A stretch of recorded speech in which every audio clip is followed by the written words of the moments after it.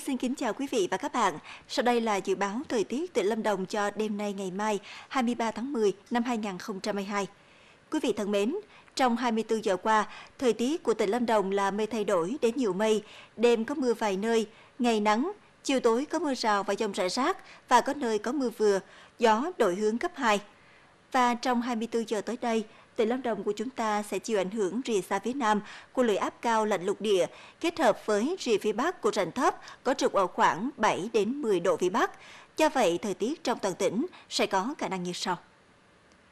Khu vực phía bắc tỉnh Lâm Đồng bao gồm thành phố Đà Lạt, Lạc Dương và Đam Rồng. Nhiệt độ tại đây dao động trong khoảng từ 15 đến 24 độ, độ ẩm trung bình từ 82 đến 87%. Tại khu vực này, được dự báo có mưa vào đêm mai, ban ngày trời nắng gián đoạn, gió Tây Nam cấp 2. Tiếp theo là khu vực phía đông tỉnh Lâm Đồng, bao gồm Đơn Dương, Đức Trọng, Lâm Hà và Di Linh.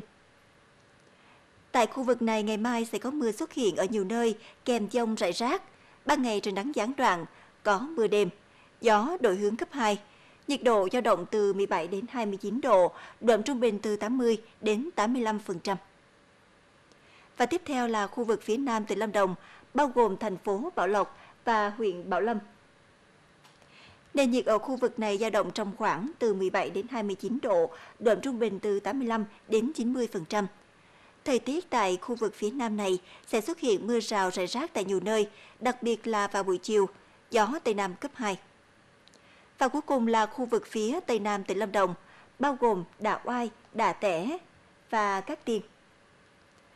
Tại đây trời duy trì nắng nóng vào buổi trưa, về chiều có mưa rải rác, nhiệt độ dao động từ 22 đến 33 độ, độ ẩm trung bình từ 85 đến 90%.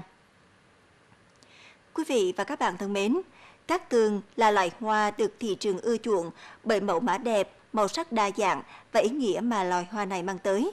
Những năm gần đây, nhiều nông dân tại Đơn Dương đã chuyển từ trồng rau sang đầu tư vào sản xuất hoa cát tường, mang lại những tín hiệu khả quan. Cụ thể hơn về thông tin này, mời quý vị và các bạn cùng đón theo dõi trong chương trình 365 ngày chuyển động được phát sóng vào ngày mai trên sóng LTV. Còn bây giờ như thường lệ sẽ là dự báo thời tiết cho những thắng cảnh trên địa bàn tỉnh Lâm Đồng và bản nhiệt độ các tỉnh thành trong cả nước. Cảm ơn quý vị đã quan tâm theo dõi. Thân ái, chào tạm biệt.